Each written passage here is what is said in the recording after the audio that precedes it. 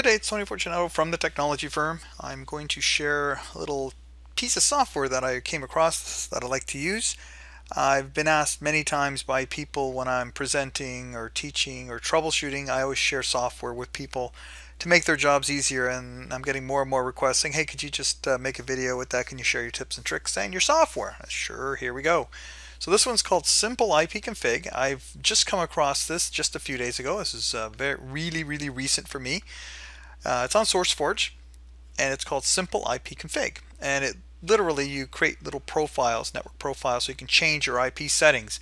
So if you need a static IP for something, like to configure equipment, or you're on a network where you need a special IP within a certain range to do things, well, there you go. So I'm going to just jump right into it. When you download this, you get an executable. That's this thing.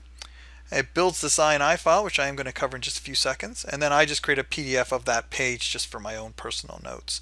So big tip number one, right click, run as administrator. Super, super, super important. If you do not run this as administrator, then guess what? It's not going to work all that great. So the first thing I like about it, uh, obviously I'm going to use my Wi-Fi adapter, but I'll just briefly show you. It'll see Bluetooth, that's a VPN connection, uh, that's my Ethernet, so on and so on and so on and so on. So you could really play with a lot of different adapters, which I really like.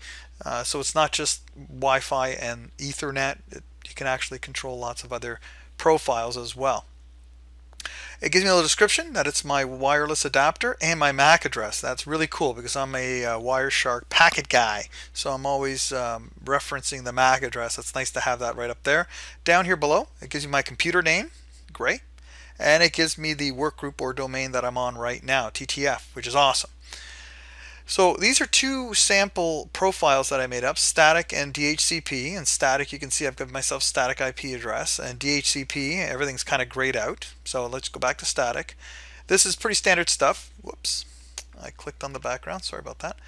And you can see it's pretty simple stuff. I've given myself an IP, a subnet mask, and a default gateway. And then here, I've given myself DNS server, and you've also got an alternate you can put in there as well. And if I want to register myself, my name, then I can check that as well. DHCP, as you can see, everything's all grayed out. And if you just want to use a profile, you click whatever you want to click, because right now I'm currently, I have a static IP. I click apply.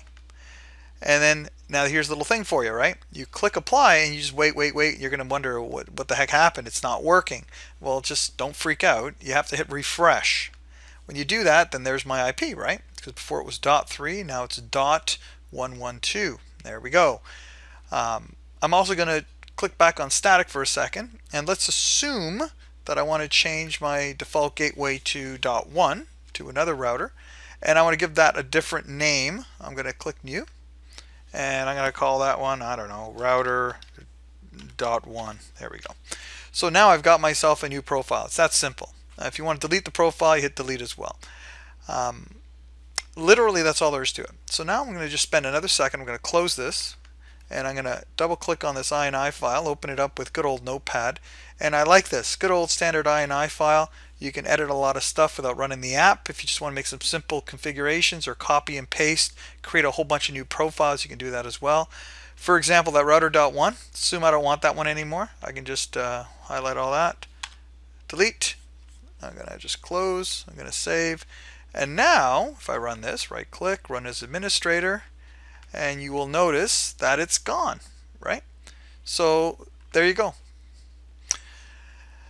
Uh, that's it. I'm not going to bore you with all the obvious stuff. I'm sure you'll figure it out as you go along. Neat little app. Enjoy. Have a good day. Bye for now.